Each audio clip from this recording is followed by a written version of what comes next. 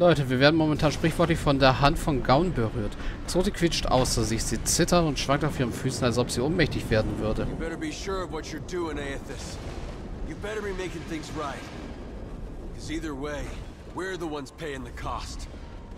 Du bist dir besser, dir besser sicher bezüglich dessen, was du tust.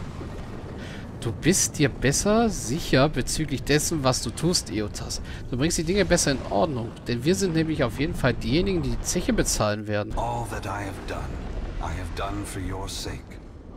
If we do not meet again, Adair, please take care of the Watcher. Alles, was ich getan habe, geschah nur um deinetwillen. Und falls wir uns nicht wiedersehen sollten, Adair kümmert die bitte um den Wächter. Aethys's great hand floats away from the luminous Audra pillar. As it pulls back, for a brief moment you see a golden tether flash into existence between the pillar and the great titan's back. Eotas große Hand entfernt sich. fingers gently cradle you. There is first a sensation of warmth, but it is followed by a harsh splitting of consciousness. Your awareness vacillates erratically between the physical world and the spiritual dimension of Aethys' body. Iotas große Hand entfernt sich von der leuchtenden Adra-Säule. Als sie sich zurückzieht, siehst du für einen kurzen Moment einen goldenen Faden zwischen der Säule und dem Rücken des großen Titanen aufblitzen. Als die Adra-Finger dich sanft umfassen, fühlst du zunächst Wärme, doch dann ein abruptes Aufspannen des Bewusstseins. Dein Bewusstsein schwankt zwischen der physischen Welt und der spirituellen Dimension von Eotas Körper hin und her. As your brilliant form passes by them, they call and reach out for help. Below Aethys' body, the volcano erupts. Molten rock rushes over the great Audra body, but does not slow its movement. Rathun rush to higher ground, but cannot outpace the lava, which overwhelms and consumes them as it rises. Deine, Seele, deine Seele gleitet äh, zwischen den vielen anderen, die mit Jotas gefangen sind. Als seine glänzende Gestalt an ihnen vorbeischwebt, rufen sie um Hilfe und greifen nach dir. Unter Jotas Körper bricht der Vulkan aus. Gefäus, geschmolzener Fels strömt über seinen riesigen Adra-Körper, ohne ihn jedoch zu verlangsamen. Die Ratun ein auf höhere gelegenes Terrain können aber der Lava nicht entkommen, die sie verschlingt, als sie aufsteigt. Deep within the whirling masses of souls, you again sense your own presence. The fragment that was taken from you. This time, you reach out to it as it reaches out to you. You meet somewhere in the great mass of Audra, the rest of the souls fading at the edge of your awareness. Deine Aufmerksamkeit richtet sich wieder auf das Herz von Aeotas Körper. Tief inmitten der wirbelnden Masse von Seelen fühlst du erneut deine eigene Präsenz, das Fragment, das dir entrissen wurde. Diesmal greifst du danach, als es nach dir greift. Ihr trefft euch irgendwo in der großen Adra-Masse, während der Rest der Seelen langsam am Rad eures Bewusstseins verschwindet.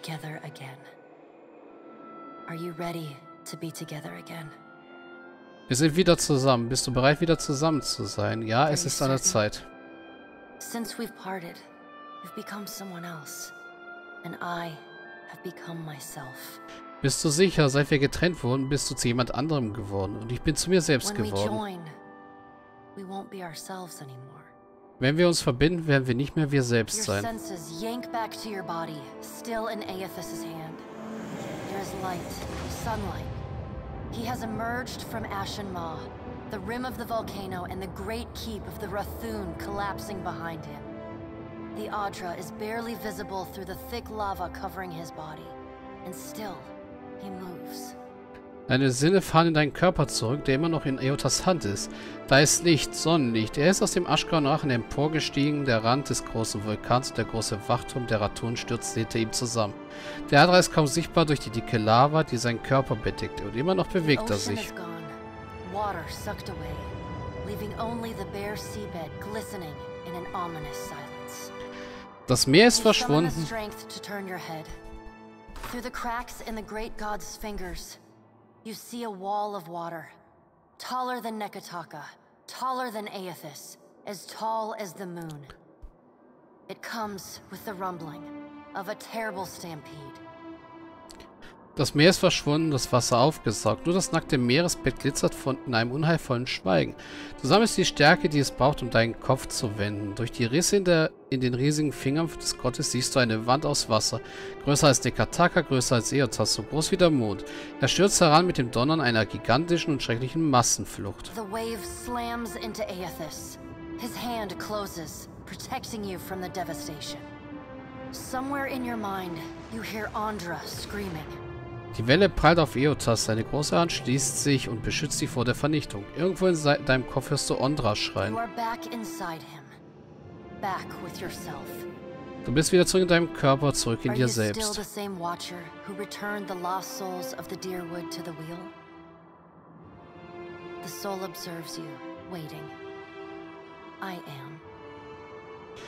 Bist du immer noch derselbe Wächter, der die verlorenen Seelen des Dürrwalds wieder dem Rat zugeführt hat?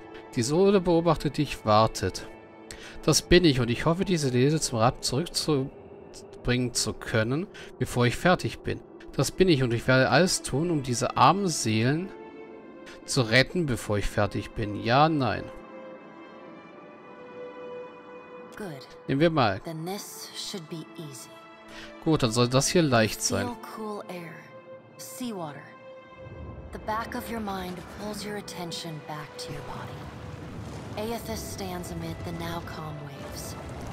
Kraken futilely clinging to his limbs as he gingerly sets down your ship with one hand. He carefully opens his other, setting your body on the deck.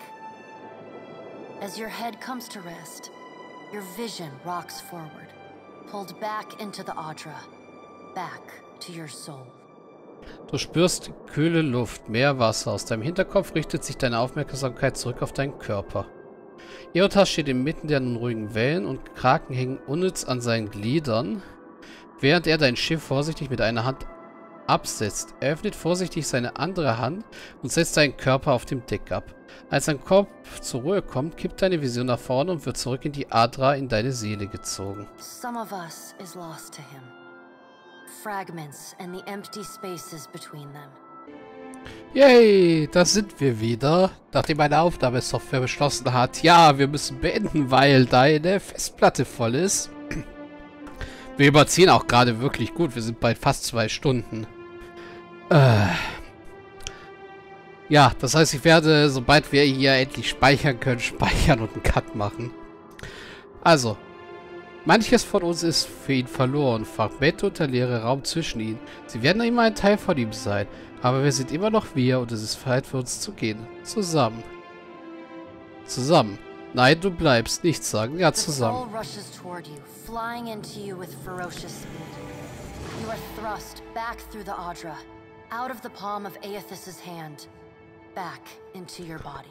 Die Stele stürzt auf dich zu und fliegt mit ungeheurer Geschwindigkeit in dich hinein. Du wirst zurück durch den Adra gestoßen, auf Iotas Handfläche und zurück in deinen Körper. You can feel the sensation of your skin, the warmth of the Adra, but you are not fully in control.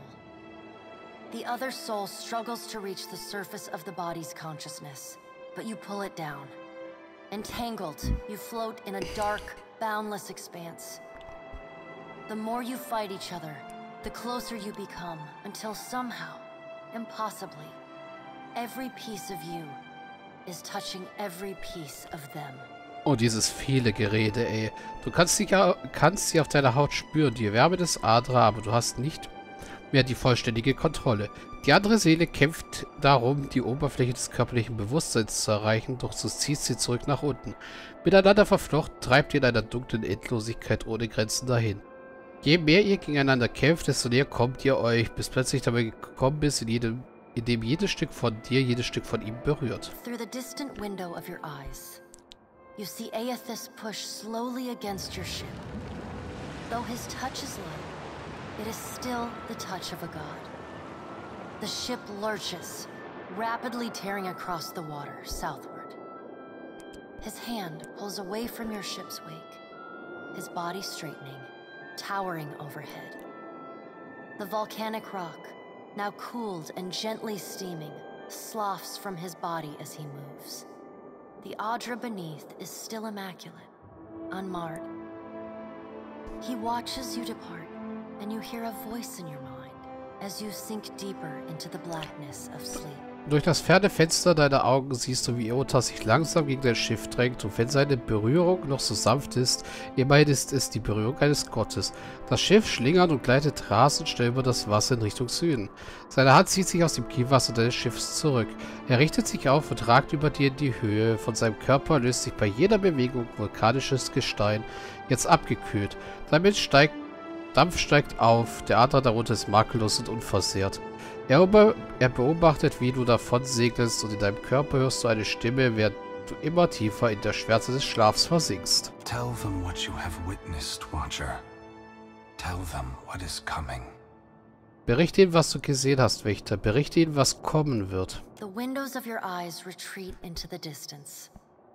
The fragment of your soul is so close to you in the darkness that you can't tell if its thoughts are separate from your own. Die Fenster deiner Augen ziehen sich noch in ziehen sich in noch weitere Ferne zurück. Das Fragment deiner Seele ist dir in der Dunkelheit so nahe, dass du nicht bestimmen kannst, ob seine Gedanken von deinen eigenen getrennt sind oder nicht. Aethys is going to Ukaizo?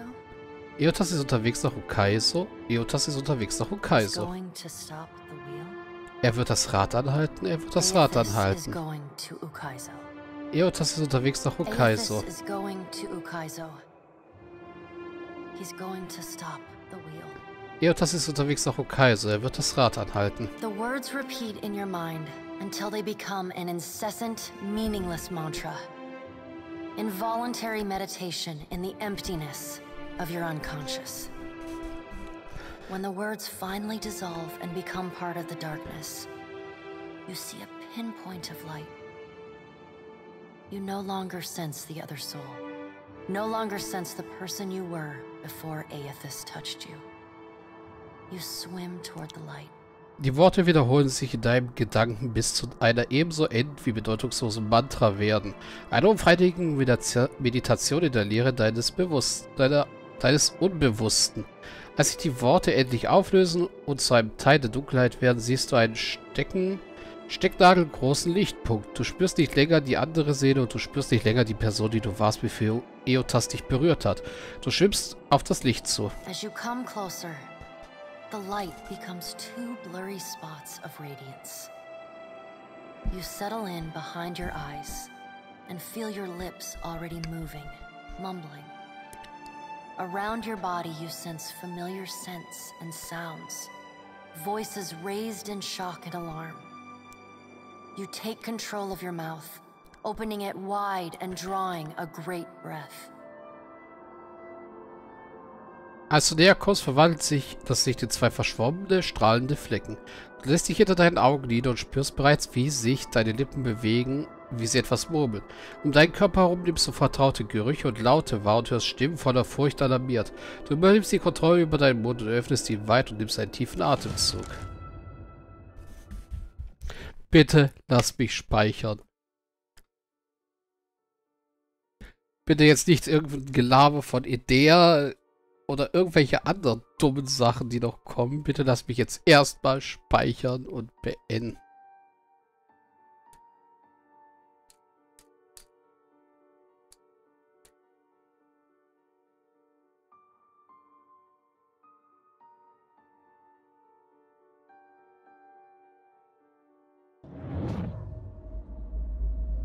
Ah. Das Hämmern schlimmer Kopfschmerzen bringt dich beinahe wieder zum Bewusstsein. Deine Sicht verschwimmt und ein saurer Geschmack füllt deinen trockenen Mund. Langsam werden die Einzelheiten des Raums wieder klar sichtbar. Die Worte der anhaltenden Debatte sind jedoch mo momentan nur ein fernes Echo. Are we simply going to wait? What if he never wakes up? Und wir sollen und soll, wollen wir einfach untätig warten? Was ist, wenn der Vivas wieder zum Bewusstsein kommt?